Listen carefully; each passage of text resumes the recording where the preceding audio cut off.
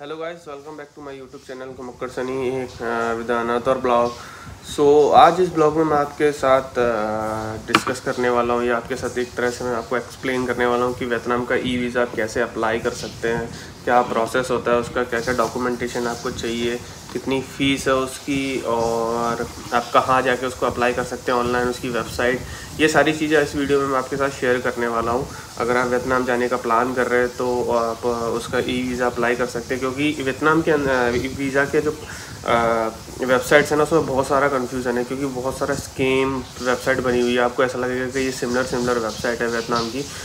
Vietnam की official website कौन सी है? तो आपको उसमें कन्फ्यूज़न होगा। आप गूगल पर डालोगे वियतनाम ई वीज़ा तो बहुत सारी वेबसाइट्स आ जाएँगी। उसमें ऐसा नहीं है कि उनकी ऑफिशियल वेबसाइट का कुछ पर्टिकुलर की टॉप पे आया ऐसा, क्योंकि वहाँ पे बहुत सारी दूसरे दूसरे डोमेन की वेबसाइट है बट वो आपसे फ़ीस ज़्यादा से जैसे सत्रह डॉलर कोई बीस डॉलर कोई पच्चीस डॉलर ऐसे चार्ज करेगा और वहाँ पर जाके आपको प्रॉब्लम होगी जब आप वियतनाम एयरपोर्ट पर जाएँगे। चाहे आप हनोई जाओ, चाहे होची मिन सिटी कहीं पे भी जा रहे हैं तो वहाँ पे वो आपको प्रॉब्लम होगी। तो मैं अपने डिस्क्रिप्शन में वियतनाम की ई वीज़ा वेबसाइट को लिंक जो है उसका अपनी डिस्क्रिप्शन में डाल दूँगा। वहाँ पे क्लिक करके डायरेक्ट आप सीधा वेबसाइट्स पे जा सकते हैं। तो वहाँ पे आपको कैसे फॉर्म फिल करना है, क्या डिटेल्स आपको चाहिए, वो सारी मैं आपको इस वीडियो में बताने वाला हूँ। और वियतनाम का वीज़ा जो है वो ट्वेंटी फाइव डॉलर का होता है। उसको आप ऑनलाइन अप्लाई कर सकते हैं। अप्लाई करोगे तो आपकी ईमेल आईडी जो आप मेल आईडी यूज़ करोगे तो उस रजिस्टर्ड ईमेल आईडी पर आपके पास उसका मेल आ जाएगा। तो उस मेल का जो मेल आएगा, जिसमें आपका ई वीज़ा होगा, वो आपको प्रिंट निकाल के ले जाना है। जब आप वियतनाम एयरपोर्ट पे पहुंचोगे, जब वहाँ पे वीज़ा ऑन अरावल का काउंटर जो होगा, वहाँ पे जाओगे, तब आप उनको अपना वो ई वीज़ा दिखाओगे। ई वीज़ा दिखाओगे ई वीज़ा दिखाओगे तो वहाँ पे वो वो आपका ई वीज़ा लेंगे, आपका पासपोर्ट लेंगे, वो चेक करके फिर आपको वो वहाँ पे आपके पासपोर्ट पे स्टैम्प स्टिकर वीज़ा लगा देंगे। जैसे आपने थाईलैंड का स्टिकर वीज़ा अगर आपने देखा हो तो पैसा आपका स्टिकर वीज़ा लग जाए, स्टिकर वीज़ा लगा देंगे आपके पासपोर्ट पे। उसमें सारी चीज़ें मेंशन होगी, आपका date, single entry, multiple entry, जो भी आपका है, वो सारा मेंशन होगा। और एक चीज़ यहाँ पे अगर आप वियतनाम में ट्रैवल कर रहे हो तो आप होटल बुकिंग वहाँ पे कंपलसरी है, अगर आप होटल बुकिंग नहीं करते तो वहाँ पे एयरपोर्ट पे आपके साथ प्रॉब्लम होगी। अगर आप डमी होटल एड्रेस डाल देते हो या बुकिंग एड्रेस डाल देते हो जो भी आप डमी यूज़ कर रहे हो, वो वहाँ पे इनवैलिड होगा। आपके प्रॉपर नाम से होटल बुकिंग होनी चाहिए, उसका प्रिंट आउट लेके लाएँ आप जब वियतनाम एयरपोर्ट पर आएँ। तो चलिए, अब स्टाफ मैं आपको दिखाता हूँ कि वियतनाम का ई वीज़ा कैसे अप्लाई करते हैं उसका फॉर्म कैसे फिल करते हैं सारी चीज़ें। चलिए, चलते हैं, मैं आपको लेके चलता हूँ अपनी स्क्रीन पे। तो दोस्तों, आप ये मेरी स्क्रीन पे देख रहे हैं, यहाँ पे मैंने अभी गूगल पर डाला है वियतनाम ई वीज़ा तो आप जैसे वियतनाम ई वीज़ा डालोगे तो यहाँ पे आपको बहुत सारी वेबसाइट्स मिल जाएँगी। Vietnam online dot com Vietnam application e visa ये सारी वेबसाइट्स जो है बट अब कन्फ्यूज़ यहाँ होता है कि इसमें जो वियतनाम की ऑफिशियल वेबसाइट है, वो कौन सी है? तो यहाँ पे बहुत सारी स्पैम एक तरह से आप बोल सकते हो कि स्केम स्कीम वेबसाइट भी हैं, जहाँ पे आप क्लिक करके अप्लाई करोगे तो आपको वीज़ा भी मिल जाए। बट वो, वहाँ पे जाके वैलिड ना हो, बहुत को प्रॉब्लम क्रिएट हो तो उससे बचने के लिए मैं आपको यहाँ पे वेबसाइट का लिंक भी डाल दूँगा। तो आप ये देख सकते हैं, ये वाली जो लिंक है, ये ये इसकी ऑफिशियल वेबसाइट है, वियतनाम ई वीज़ा अप्लाई करने की। तो यहाँ पर आप देख सकते हैं तो इन्होंने स्टेप दे रखे सबसे पहले स्टेप वन में आपका ये इन्होंने दिखा रखा है कि पासपोर्ट पे आपका नंबर कैसा होना चाहिए पासपोर्ट नंबर आपका फ़ोटो कैसी होनी चाहिए। बेसिकली फ़ोटो जो है आपकी उसका कोई साइज़ ऐसा फिक्स नहीं है कि उसका कोई मेज़रमेंट हो कि आपको चाहे हंड्रेड बाई हंड्रेड या कुछ भी जो भी है उसके अकॉर्डिंग चाहिए। ऐसा कुछ भी बस एक चीज़ है कि आपका वाइट बैकग्राउंड हो और आपकी कोई टोपी ओपी या कोई चश्मा वगैरह ना लगाओ, बस ये चीज़ मेंशन करना है। अब इसमें दे रखा है पे e visa your application in three days जो वेतनाम ई वीज़ा जो है, उसका प्रोसेसिंग टाइम जो है, वो थ्री वर्किंग डेज़ है। अगर आपका कोई वैसे तो इंडियंस के लिए most probably twenty four hours के अंदर मिल जाता है। अगर कुछ डिले होता है या फिर कोई प्रोसेस के कारण डिले होता है तो वो आपको नेक्स्ट डे यानी कि सेकेंड डेज़ में मिल जाएगा। मैक्सिमम डेज़ इनका three two four working days है, जिस, जिसमें आपको ई वीज़ा मिल जाएगा। अब यहाँ पे आप देख सकते हैं सिंगल एंट्री की फ़ीस जो है वो ट्वेंटी फाइव डॉलर है और आपकी मल्टीपल एंट्री की फिफ्टी फाइव डॉलर है। तो यहाँ पे आप चूज़ कर सकते हो कि आपको किस टाइप का वीज़ा चाहिए सिंगल एंट्री की मल्टीपल एंट्री अब यहाँ पे आप कंफर्म करोगे और नेक्स्ट पे जाओगे तो इसके बाद आपको ये वाला फॉर्म ये पेज ओपन हो जाएगा, जिसमें आपको आपकी पर्सनल इन्फॉर्मेशन फिल करनी है, आपका पासपोर्ट नंबर आपका एड्रेस आपका होटल बुकिंग का एड्रेस होटल बुक नंबर आपका डेट ऑफ़ बर्थ पासपोर्ट कहाँ से इशू हुआ, ये सारी चीज़ें आपको इसके अंदर फिल करनी है। तो चलिए मैं आपको बताता हूँ, सबसे पहले आप ये देख रहे हैं, इन्होंने सैंपल दे रखा है कि पासपोर्ट आपका कैसा होना चाहिए। इन्होंने दिखा रखा है पासपोर्ट ऐसा होना चाहिए विजिबल प्रॉपर वे में यहाँ पर आपको पासपोर्ट सेलेक्ट करना है। आप पासपोर्ट को स्कैन करके भी रख सकते हैं या फिर आप उसकी फ़ोटो खींच के प्रॉपर जिसमें आपका डिटेल जो क्लियरली दिखें तो वो आप यहाँ अपलोड कर सकते हो। फ़ोटो जो है वो आपकी अपलोड करनी है, वो आपका वाइट बैकग्राउंड हो। यहाँ पे उन्होंने कोई साइज़ मेंशन नहीं किया, आप देख सकते हैं। तो यहाँ पे नॉर्मली आपकी फ़ोटो जो है वो आपकी वाइट बैकग्राउंड में होनी चाहिए और आपका फेस जो है वो क्लियर दिखना चाहिए। अब यहाँ पे आते हैं पर्सनल इन्फॉर्मेशन में। अब जैसे आपका सरनेम गिवन नेम यहाँ पे लोगों को कन्फ्यूज़ होता है कि भाई मेरा जो है वो एक ही नेम है गिवन नेम है। तो मैं यहाँ पे आपको सजेस्ट करूँगा कि आप कंफ्यूज ना हो, आप अपना पासपोर्ट लें। उस पासपोर्ट के अंदर आपको सारी चीज़ें दे रखी होंगी। आपका first name last name e given name जो भी आपका होगा, उसके अकॉर्डिंग आप फिल करें यहाँ पे। आपका सरनेम अगर उसमें दे रखा है तो सरनेम डालें। गिवन नेम है तो गिवन नेम में आप पूरा प्रॉपर अपना नेम डालें, पूरा जो भी है।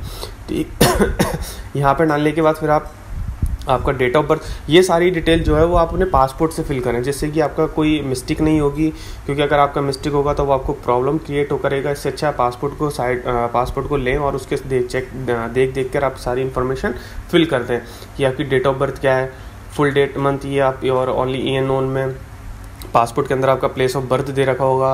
आपका सेक्स इंडियन नेशनलिटी है कि कौन सी आपकी नेशनलिटी है, वो भी आप यहाँ डाल सकते हैं। रिलीजन उसमें हिंदू मेल आईडी जो आपकी चाहिए होगी, वो आपका पासपोर्ट नंबर आईडी कार्ड जो नंबर होता है वो इन्होंने फिर देखा रहा have you ever use any other passport to enter अगर आप वियतनाम में किसी दूसरे पासपोर्ट से गए, यानी कि मेरे पास पहले पासपोर्ट था, मैं उससे गया हूँ बट मेरा पासपोर्ट जो भर गया, मैंने उसको रिन्यू करवाया है। तो अगर आप येस करते हैं तो उस पासपोर्ट की यहाँ पे डिटेल डालनी है कि भाई मेरा पुराना पासपोर्ट ये था, उसका डेट ऑफ़ बर्थ नेशनलिटी ये सारी सब कुछ इन्फॉर्मेशन आपको डालनी है। अगर नहीं है तो आप नो कर सकते हैं। आपके पास मल्टीपल नेशनलिटी यानी कि आप आपके पास दो पासपोर्ट हैं लाइक इंडियन पासपोर्ट भी है, आपका कनेडियन है जो भी आपका डबल नेशनलिटी से तो आप यस करोगे तो यहाँ पे वो आपसे डिटेल पूछेगा कि दूसरी नेशनलिटी आपकी कौन सी है। को कोई आपका वियतनाम में कोई आपने कोई प्रॉब्लम हुई है क्या रूल्स एंड रेगुलेशन से रिलेटेड तो ये आप ऑफिशियली आपको नो करना है, इसका कोई वो नहीं है। अब यहाँ पे आता है आपका चेकबॉक्स सिलिंग सिंगल एंट्री की मल्टीपल एंट्री यहाँ पे आप कलेक्ट सेलेक्ट करोगे सिंगल एंट्री में। अब आप यहाँ पे आपका वीज़ा जो है, वियतनाम ई वीज़ा जो है वो अपने को थर्टी डेज़ का मिलता है। आप उसको थर्टी डेज़ वहाँ पे स्टे कर सकते हैं। इंडियंस के लिए जो है वो वीज़ा वैलिडिटी वो थर्टी डेज़ की है। तो यहाँ पे आप अपना अराइवल डेट डाल सकते हैं कि भाई मैं सॉरी इसमें अराइवल डेट नहीं आती, ये आपका ऑटोमेटिक है। जिस दिन आप अप्लाई करोगे, उस दिन से वो आपका थर्टी डेज़ काउंट कर लेगा। जैसे मैं भी यहाँ कर रहा हूँ तो उन्होंने एक साथ नेक्स्ट मंथ से तीस जुलाई तक का उन्होंने ऑटोमेटिकली मेंशन कर दिया है ऑटो फिल कर दिया है। अब यहाँ पे पासपोर्ट आपका कि भाई आपका पासपोर्ट क्या डिप्लोमेटिक है officially ordinary mostly ordinary passport है। तो यहाँ पे आप डाल सकते हैं आपका पासपोर्ट नंबर आपका पासपोर्ट कहाँ से इशू है, ये सारी चीज़ें आपको आपके पासपोर्ट पर मिल जाएँगी। आपको कन्फ्यूज़ होने की कोई ज़रूरत नहीं है। आप पासपोर्ट देखिए, वहाँ से सारी फिल कीजिए। आपका date of issue expiry date passport की कब है। अगर आपके पास कोई दूसरा पासपोर्ट है तो यस कीजिए, उसकी डिटेल डालिए। अगर नहीं है तो नो कर दीजिए सिंपल सा। अब यहाँ पे परमानेंट एड्रेस में, या कि आपका जो होम टाउन है, या फिर आप कहीं मान लो किसी का दूसरी सिटीज़ में रह रहे हैं तो वहाँ का आप एड्रेस डाल सकते हैं यहाँ पर परमानेंट एड्रेस आपका घर का डाल सकते हैं कॉन्टैक्ट एड्रेस यानी कि आप अपना, अगर दूसरी सिटी में रह रहे हैं, मान लो कि आप एमपी मध्य प्रदेश से हैं और आप दिल्ली में रह रहे हैं जॉब कर रहे हो तो वहाँ पर आप अपना कॉन्टैक्ट में दिल्ली का डाल सकते हो और परमानेंट में आपका होम एड्रेस होम टाउन का एड्रेस डाल सकते हैं। इमरजेंसी कॉन्टैक्ट नंबर या आप कोई भी डाल सकते हैं, अपने फादर का ब्रदर का, जो भी आपको फ्रेंड का वो डालना है, वो आप यहाँ पर डाल सकते हो और यहाँ पर रिलेशन देख सकते हो। भाई मेरा जो रिलेशन है उसके साथ वो है। ठीक है अब आप यहाँ पे ऑक्यूपेशन ऑक्यूपेशन में आपका अगर आप सेल्फ बिज़नेस है या आप किसी कंपनी में एम्प्लॉय हैं तो यहाँ पे आप लिख सकते हैं भाई मैं सेल्फ बिज़नेस है तो मेरी कंपनी का सेल्फ बिज़नेस लिख दिया कंपनी का नाम लिख दिया उसमें आपकी पोजीशन क्या है आप सी ओ फाउंडर हो या फिर आप फाइनेंशियल देखते हो या जो भी आपका ऑक्यूपेशन है वो आप यहाँ पर डाल सकते हो उसका एड्रेस और उस, अपना टेलीफोन नंबर यहाँ पे अगर आप मान लो किसी कंपनी में एम्प्लॉय हो तो यहाँ पे सेल्फ एम्प्लॉय लिख सकते हो फिर उस कंपनी का नाम और आपकी जो उस कंपनी में लाइक अ डेवलपर हो या फिर आप टेलीकॉलर हो या फिर आप कोई भी डिज़ाइनर हो या कोई भी कंटेंट क्रिएटर हो तो आप वो यहाँ पर डाल सकते हैं। ये आपका हो गया, यहाँ से फिर नेक्स्ट आपका जो है वो दे रखा है इन्होंने इन्फॉर्मेशन अबाउट द ट्रिप यानी कि आपको यहाँ पे अब डालना है कि भाई मेरा वियतनाम के अंदर क्या पर्पज़ है विज़िट करने का।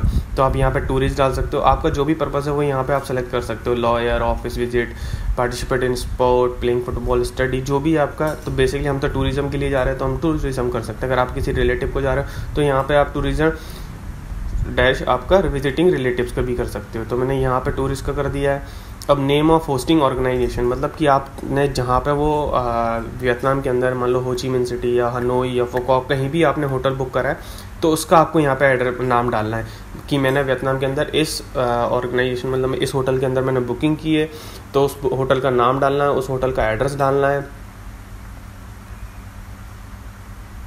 और यहाँ पे आप जो है, उसका क्या बोलते हैं फ़ोन नंबर डालना है। अब यहाँ पे ट्रिप आपका जो वियतनाम का मैंने आपको बताया कि अपना जो वीज़ा होता है, वो थर्टी डेज़ का होता है। तो यहाँ पे आपकी डेट आ जाएगी इंटेंट डेट ऑफ़ एंट्री आपकी एंट्री डेट कब की है, वो अब आप किस चेक पॉइंट से आ रहे हैं? चेक पॉइंट्स का मतलब आप किस वियतनाम में कहाँ से एंटर कर रहे हैं? आप सी पोर्ट से कर रहे हैं या बाय बस बाय बस कर रहे हो बाय रोड कर रहे हो या फिर बाय एयर आ रहे हो? तो अगर आप सी पोर्ट से कर रहे हो तो यहाँ पे आप चेक करके देख सकते हो कि भाई कौन सा आपका पोर्ट है, वो आप सेलेक्ट कर सकते हो या फिर आप बाई लैंड आ रहे हो। जैसे आप थाईलैंड आए हो थाईलैंड से फिर आप वियतनाम जा रहे हो बाई लैंड या फिर आप मलेशिया या फिर कहीं भी किसी दूसरी कंट्री से जा रहे हो लैंड तो यहाँ सेलेक्ट कर सकते हो आपका चेक पॉइंट और अगर आप एयरपोर्ट बाय एयर जा रहे हो तो आप यहाँ पे एयरपोर्ट सकते हो जैसे मैंने होची मिन सेलेक्ट कर लिया, ये एयरपोर्ट और मेरा एग्ज़िट मतलब मैं जब रिटर्न जाऊँगा वियतनाम से तो मेरा एग्ज़िट कौन सा होगा? तो मैं यहाँ पे आप सेलेक्ट कर सकते हो, मैंने अभी दारनांग डाल दिया फुकॉक हनो हनोई जो भी आपका चेक पॉइंट है, वो आपकी जो टिकट होगी, वहाँ पर आप देख सकते, डाल सकते हैं। यहाँ पे आप उस होटल का नंबर डाल दीजिए, जो आपको, आपकी बुकिंग की होगी तो वहाँ पे आपको एक नंबर दिया होगा तो वो आप नंबर डाल सकते हैं। उसके बाद उन्होंने देखा have you been to Vietnam in the last one year आप एक साल के अंदर वियतनाम के अंदर अगर विज़िट कराए तो आप येस कर सकते हैं। तो वो यहाँ पर आपसे पूछेगा कि आपने कहाँ से कहाँ करा पर्पज़ क्या था, ये सारी चीज़ें आपको डालनी है। अगर आपने विज़िट किया नहीं करनी तो सिंपली आप नो कर सकते हैं। अब यहाँ पर पूछ रहा है कि आप का कोई वियतनाम के अंदर कोई रिलेटिव है या कोई फ्रेंड या कुछ भी, अगर आपका कोई दोस्त या कुछ है तो आप यस करो और उसकी नेम एड्रेस नेशनलिटी रिलेशन और उसका रेजिडेंशियल एड्रेस मान लो मेरा कोई दोस्त रहता है तो मैंने उसका नाम डाल दिया, उसकी डेट ऑफ़ बर्थ तो उसकी इन्फॉर्मेशन मैंने लेके यहाँ पर डाल दिया अगर अगर कोई नहीं है मैं तो ये करूँगा कि आप नो कर दो बेसिकली क्यों फालतू में उस चीज़ को और कॉम्प्लिकेट करना है। नॉर्मल सी आप उसको नो कर दीजिए। अब यहाँ पे आपके साथ अगर कोई बेबी ट्रैवल कर रहा है या फिर कोई जो भी फोर्टीन ईयर से बिलो है तो उसका आपको यहाँ डालनी सारी चीज़ें। पासपोर्ट नंबर और उसका फ़ोटो ये सारी चीज़ें। अगर नहीं है तो आप इसको स्किप कर दीजिए। अब इसके बाद आता है ट्रिप एक्सपेंसिव इंश्योरेंस की। आप अगर वियतनाम जा रहे हो तो आप कितना कैश करिए तो यहाँ पे आप डाल सकते हो भाई फाइव हंड्रेड यू या फोर हंड्रेड या वन थाउज़ेंड जो भी आप लेके जा रहे हो वो यहाँ पे डाल सकते हो। अब यहाँ पे who will cover your trip अब आपकी जो ट्रिप है, उसको वो कौन कवर कर रहा है? जैसे कि आपने किसी एजेंट से करवाया है तो वो यहाँ पे अदर एजेंसी या ऑर्गेनाइजेशन है या जो भी है, या फिर आप सेल्फ कर रहे हो तो यहाँ पे एप्लीकेंट डाल सकते हो। फिर आपका जो टाइप है, आप मतलब जो कैश लेके जा रहे हो, या फिर आप क्रेडिट कार्ड के अंदर है, या फिर आपका किसी फॉरेक्स कार्ड के अंदर है तो वो यहाँ पर आप सेलेक्ट कर सकते हो। भाई, मेरा क्रेडिट कार्ड में बैलेंस है फाइव हंड्रेड तो आप उस चूज़ कर सकते हैं।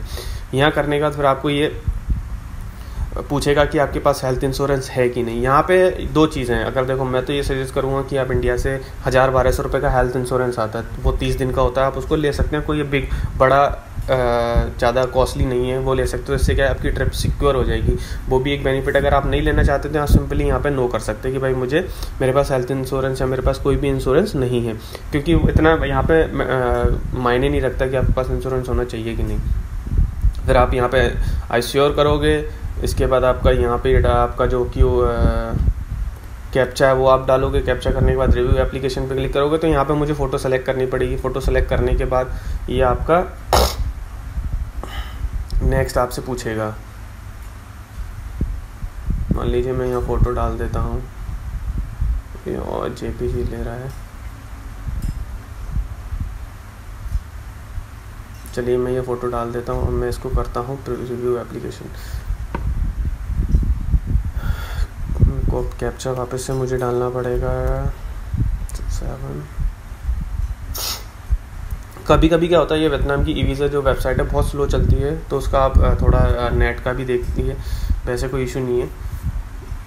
कंप्लीट हो जाएगी तो आपके पास फिर ये स्क्रीन आएगी। यहाँ पे जो मेन है, वो आपका ये रजिस्ट्रेशन कोड है। इसको आप कॉपी कर लीजिए, आप इसका स्क्रीनशॉट ले लीजिए, या फिर आप इसको फ़ोटो फ़ोटो कर फ़ोटो क्लिक कर लीजिए। तो मैं इसको कॉपी कर लेता हूँ। यहाँ पे आप चेक कर सकते हो आपकी डेट सारी डिटेल आप ओके करोगे ओके करने के बाद ये आपका जो है, वो नेक्स्ट पेमेंट पेज पर पे ले जाएगा, जहाँ पर हमको पेमेंट करना है। तो चलिए चलते हैं। वहाँ पे आपका फिर होने के बाद ये आपको, आपकी प्रोफ़ाइल जो आपने कंप्लीट करी है, जिसमें आपकी डिटेल्स वगैरह सब कुछ पूरी डाली हुई हैं, ये सारा आपको यहाँ पे शो करके दिखा देगा एक तरह से। आपका रिव्यू एक तरह से, आपकी जो एप्लीकेशन है उसको रिव्यू कर देगा, फिर आप पेमेंट पे क्लिक करेंगे तो ये फिर आपको पेमेंट गेटवे पे ले जाएगा यहाँ पे। जैसे आप देख सकते हो, ये मेरा name passport number release and date of birth email ये सारी चीज़ें आ चुकी है सिंगल एंट्री ये सब कुछ आ चुका है यहाँ पे। अब ये देखिए, यहाँ पे मुझसे फिफ्टी अमाउंट जो है वो ट्वेंटी फाइव डॉलर का मुझसे चार्ज कर रहा है। अगर वियतनाम में आप देखोगे तो ये इन्होंने वियतनाम का भी दिखा रखा है एक्सचेंज रेट वगैरह ये सारी दिखा रही है। अब मैं यहाँ पे प्ले और आई एग्री पे क्लिक करके और ये पे ई वीज़ा पे क्लिक करता हूँ। अब यहाँ पे आपके पास दो ऑप्शन है। या तो आप इसको एटीएम कार्ड के थ्रू कर सकते हैं। आपका जो एटीएम कार्ड है वो है, आपका जिस बैंक का या भी हम मोस्टली यहाँ पे सारी आपका इंटरनेशनल बैंक है वियतनाम की जो बैंक है उनका आ रहा है तो अपने को उसको सूझ नहीं करना है अपने को यहाँ पे पे वाई वीज़ा मास्टर कार्ड और जो भी एमएक्स जो भी है तो यहाँ पे आप सेलेक्ट कर सकते हैं आपको किसके थ्रू करना है मास्टर कार्ड या फिर आपको वीज़ा या जो भी आपका कार्ड है वो आप उसके थ्रू कर सकते हो और क्लिक करोगे क्लिक करके आप जैसी एप्लीकेशन सबमिट करोगे। मान लीजिए आपने वीज़ा सेलेक्ट कर तो यहाँ पे आपका card number full name email address वगैरह सब कुछ डालेगा और एक कंटिन्यू करोगे तो आपका यहाँ पे पेमेंट कंप्लीट हो जाएगा। उसके बाद फिर आपको यहाँ पे जो आ, एक तरह से आपकी जो मेल आएगी वो आपकी आपके पास ऐसा जो है वो प्रिंट आपको शो हो जाएगा जब आप कंप्लीट करोगे। तो जैसा आपके पास मेल आएगा ये आप जो देख रहे हो यहाँ पे पूरी डिटेल ये एक सैंपल है क्योंकि मैं अप्लाई नहीं कर रहा हूँ तो मैं सिर्फ़ आपके लिए वीडियो बना रहा हूँ। तो ये आपको एक तरह से आपको वीज़ा मिल जाएगा। ये आपको इसका जो प्रिंट है वो आप आ, कलर प्रिंट आउट निकाल के ले जाएँ। ऐसा नहीं कि आप फ़ोन में दिखाएँ इसका प्रिंट आउट आप निकाल के ले जाएँ ध्यान रखें। प्रिंट आउट ले, ले जा ले जाएँगे आप तो वो आपके लिए काफ़ी अच्छा होगा ज़्यादा टाइम वेस्ट नहीं होगा। उसके बाद जैसे ही आप आ जाओगे तो फिर आपको वो पासपोर्ट जैसी दोगे तो उस आपके पासपोर्ट पे ये आपका जो वीज़ा ऑन अराइवल का जो स्टिकर है वो आपके पासपोर्ट पे लग जाएगा। यानी कि आपको वियतनाम का वीज़ा जो है वो आपको मिल गया। ये आपका कंप्लीट प्रोसेस है वियतनाम ई वीज़ा की कि आपको कैसे अप्लाई करना है क्या क्या चीज़ें उसको चाहिए आपको। ये सारी चीज़ें उसके लिए हैं। ठीक है, अब अगर अगर फिर भी आपका कोई डाउट है या कन्फ्यूज़न है तो आप मुझे मैसेज करके पूछ सकते हैं, या मुझे कमेंट करके पूछ सकते हैं, या मुझे इंस्टाग्राम पे मैसेज कर सकते हैं तो मैं आपका वहाँ पर रिप्लाई कर दूँगा। और अगर आप मेरे चैनल पर नए हैं तो चैनल को सब्सक्राइब करना ना भूलें बेल आइकन को प्रेस करें, जिससे मेरी आने वाली वीडियो का आपका नोटिफिकेशन मिल जाए, और चैनल